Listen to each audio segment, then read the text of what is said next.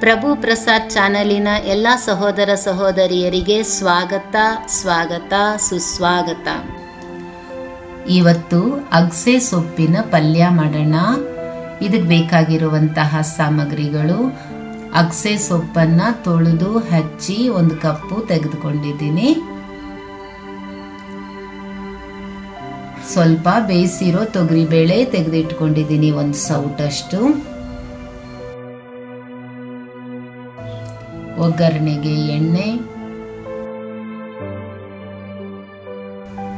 ಹಿಂಗು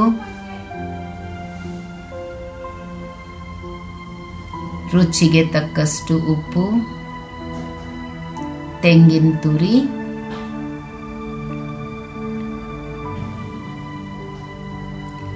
ಉದ್ದಿನಬೇಳೆ ಸಾಸಿವೆ.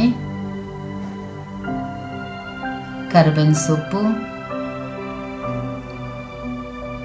ಕಡಲೆಬೇಳೆ,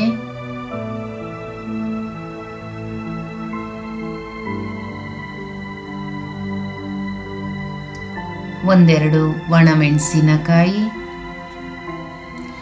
ಈಗ ಗ್ಯಾಸ್ ಮೇಲೆ ಬಾಣಲಿ ಇಟ್ಬಿಟ್ಟು ಎಣ್ಣೆ ಹಾಕ್ತಾ ಇದ್ದೀನಿ. ಎಣ್ಣೆ ಬಿಸಿ ಆದ ಮೇಲೆ ಸಾಸಿವೆ ಕಡಲೆಬೇಳೆ ಉದ್ದಿನಬೇಳೆ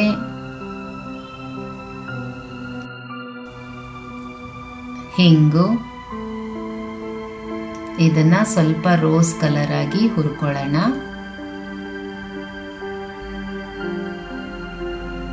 ಕರ್ಬೇವಿನ ಸೊಪ್ಪು ಹಾಕ್ತಾ ಇದ್ದೀನಿ. ಒಣಮೆಣಸಿನಕಾಯಿ ಸೊಪ್ಪು ಹಚ್ಚಿಟ್ಕೊಂಡಿದ್ವಲ್ಲ, ಆ ಸೊಪ್ಪು ಹಾಕ್ತಾ ಇದ್ದೀನಿ. ಇದು ಚೆನ್ನಾಗಿ ಮಿಕ್ಸ್ ಮಾಡ್ಕೊಳ್ಳೋಣ.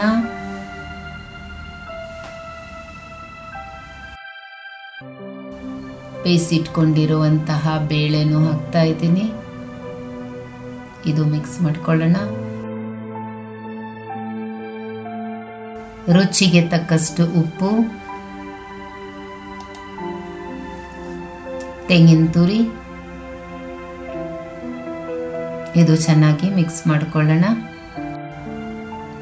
ಈಗ ಇದನ್ನ ಹಿಡ್ಡು ಮುಚ್ಚಿಬಿಟ್ಟು ಒಂದೆರಡು ನಿಮಿಷ ಬೇಯಿಸ್ಕೊಳ್ಳೋಣ.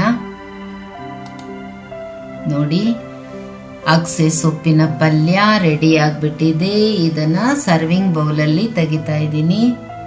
ಅಗಸೆ ಸೊಪ್ಪಿನ ಪಲ್ಯ ರೆಡಿ